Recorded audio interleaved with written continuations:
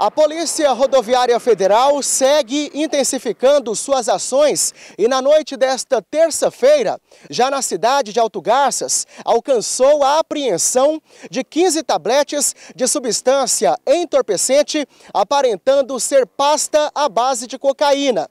O trabalho teve andamento diante de patrulhamento ordinário, abordagens de rotina que estavam sendo feitas ali no posto 202 da PRF um ônibus interestadual que fazia a linha de Aripuanã, aqui no Mato Grosso, para São Paulo capital, acabou sendo alvo desta abordagem. Durante conversa com os passageiros, foi notado que um deles, aquele que estava na poltrona de número 42, apresentou certo nervosismo. Durante questionamentos acerca do motivo da viagem, a origem, o destino, esse passageiro começou a apresentar informações desencontradas. Desta forma, após as buscas realizadas na bagagem deste indivíduo, os plantonistas localizaram uma bolsa contendo os 15 tabletes aparentando ser pasta base de cocaína.